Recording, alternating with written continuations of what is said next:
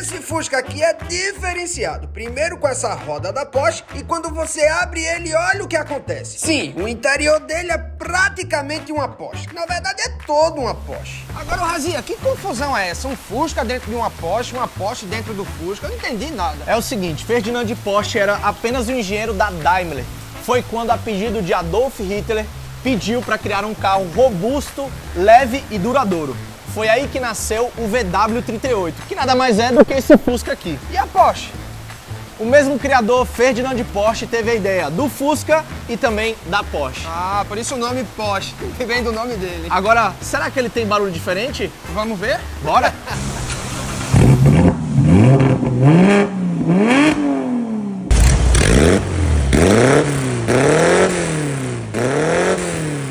Mas e aí, o que é que vocês acharam? Deixa aí nos comentários. Eu preferi o ronco do Fusca. Eu também. Não, não, fique lá. Fique Mas esse lá. é Fusca também.